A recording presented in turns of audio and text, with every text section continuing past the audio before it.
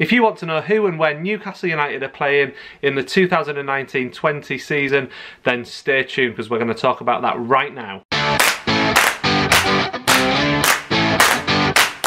Hello good people, my name's Ian, welcome to another video on Real Football UK. If you haven't already, please hit the like and subscribe button and don't forget to press the bell notification as well so you don't miss a thing. Now today, the Premier League released their entire set of fixture lists for the whole season and we're going to be focusing on Newcastle United's fixture list today. We're going to be looking at who they're playing, when they're playing and we're going to sort of just delve into a little bit like uh, which parts of the season are better and which parts of the seasons are going to be trickier for Newcastle as we enter this season. Now, as a Newcastle fan, I have absolutely no idea what this season's going to entail. I mean, I don't even know who the manager's going to be. I don't know who the owner's going to be. Obviously, we're still hoping this takeover deal goes through, and we we hope. I think most people hope that Rafa is still there. Uh, whether they, whether that will happen or not, I don't know. We could end up in a situation where we have a new owner and a new manager. We could end up with a new owner and Rafa in charge. We could end up with Mike Ashley and Rafa, or we could end up with Mike Ashley and some random manager. So everything's up in the air. We obviously know the fixtures now. We're going to talk about that in a second, but there's so much up in the air. I'm just going to assume when I'm talking about the fixtures today, I'm going to assume that Newcastle are still where they are now. So Rafa's still there and Mike Ashley's still there. And that kind of let me talk around the fixtures in a kind of reasonable way that we all understand. We're not going to get carried away about a takeover that hasn't happened yet. So let's start by looking at Newcastle United's first six fixtures. So Newcastle are going to kick off the season on August the 11th uh, with a home game against Arsenal. And actually the first six games, as you can see here, uh, are pretty going to be a pretty tricky bunch. We've got uh, Arsenal at home, Norwich away, Tottenham away, Watford at home, Liverpool away and then Brighton at home. So in the first six games we're going to face Arsenal and Liverpool and Tottenham as well. And um, Liverpool and Spurs are both away from home. So like two out of these first six games are really, really tough. And if we just go a little bit beyond that, the first nine games, we actually play five of the last season's top six in those first nine games. Because we have Manchester United and Chelsea uh, to kick off October with, Manchester United at home and Chelsea being away. What does that mean for Newcastle? Well, we're going to be fighting relegation. As things stand, we'll be fighting relegation. So I think what that actually really means is we have to capitalise on home games and we also have to capitalise on those games against teams that weren't in the top six last season. So obviously the opening day of the season against Arsenal, you'd like to think we could go into that game and, and possibly get a point. I think that's realistic. I don't think there's anything uh, to be ashamed of in sort of saying that or hoping for that. You know, to start the season without losing could be a huge thing. Um, if we can take a point from Arsenal, then we move on to Norwich away. Now that's obviously going to be their they're newly promoted. They've just come up. That's their first home game. That's going to be a tricky, tricky game. But it kind of because of the way our fixtures are early on, it's kind of a fixture that I think we need to take something from as well. And and if we can get two or possibly four points from the first two games, I think most Newcastle fans will be absolutely delighted with that.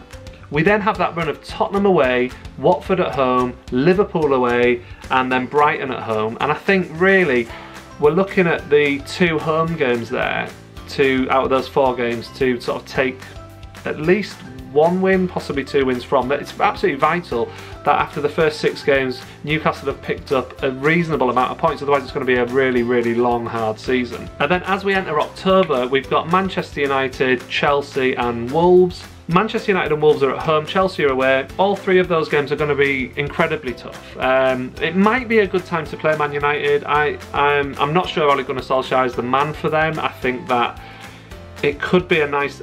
Playing Man United in October could be a good time. It could be potentially a time when things aren't going their way, they're not good, and they won't probably have got rid of Ole Gunnar Solskjaer at that point. So it could be a nice time to play them if Man United don't get off to a good start. I could be totally wrong there. Manchester United might get off to a flying start and it might be a, a bad time to play them. But I think just looking at what's happened since they gave Solskjaer that permanent contract, I just think there's a playing Manchester United early at home not necessarily the worst thing in the world. When the fixture lists come out, we always, I always look at who we play at the beginning of the season, and then I always look at who we play around Christmas. I don't know why we do that, but I guess looking at the festive football fixtures is always a good thing. I don't know. Newcastle never particularly do well around Christmas, but it's always good to see who we're playing. So who are we playing at Christmas? Well, you can have a look. We've got Manchester United away on Boxing Day, which is a, a bit of a nightmare. And, and like just talking about Man Manchester United playing them at home earlier, by December, I can absolutely see if things have gone wrong that Manchester United will have got rid of their manager at that point. They could be under a new manager by December. It could be one of those situations again, a bit like last season when we turned up, we played Man United and they just had their life back in them. They just had that oomph and they, they obviously beat us. And I just kind of worry that away to Manchester United on Boxing Day is not a good fixture for Newcastle United, particularly if Manchester United have got a new manager at that point. But we then follow that up with two home games. So we've got Everton at home on the 28th and Leicester at home on New Year's Day, barring the TV schedules changing. Um, and I actually think that's an okay Christmas for us. I think I think if we can pick up some points over those three games, I think we'll be quite happy with that. And also the game immediately before Christmas is Crystal Palace at home. So actually, over the festive period, we've got three home games in kind of uh, nine or ten days. So that's really kind of positive. That's a really that should be a time when we we're looking to take some points from Palace, Everton, and Leicester. If we can win a couple of those games, I think we'll probably be pretty happy with that. Just one more thing about the football fixture list around Christmas time. Uh, Amazon Prime have entered the television rights market for the Premier League this season, and uh, all 10 Premier League fixtures on Boxing Day and the midweek game, so when we play Everton at home, uh, both of Newcastle's games will be on Amazon Prime. Uh, and so, as will every other team's games in those two fixtures only. Now, looking ahead to the end of the season, because uh, of course we look at the beginning, we look at the Christmas period, and then we tend to look at the end of the season, don't we? I think Newcastle's running's pretty tough this season as well. So we've got a tough start, we've got a tough end to the season as well. And the reason that it's tough is because we play three out of our last six games, no sorry, out of our last five games, three of them are against top opposition. So as you can see, we have Manchester City away in the middle of April, and we have home games against Spurs and Liverpool at the end of the season. In fact, Liverpool is the last game of the season at St James's Park. And who knows, uh, we could be seeing the champions of England play at St James's Park on the last game of the season. I don't know how people feel about that. Let me know in the comments uh, if you think that might happen. And that's tough. If, if that if we get into a situation like last season where Manchester United, um, where Manchester City, sorry, and Liverpool are neck and neck again, um, they won't fancy playing us. I know that, but uh, you know that's going to be really tough if they're fighting for the title on the last game of the season and they need something. That's going to be mega tough. But around those fixtures, we've also got away trips to Watford and Brighton. So, you know, tough games, but certainly games where we can get points. And I think it might be that we need to get some points from those games and possibly one of the home games as well. So I think November and December are crucial months for us. I've sort of mentioned that Christmas is not a bad period for Newcastle, but actually before Christmas and November too, it's also not a bad time for Newcastle this season.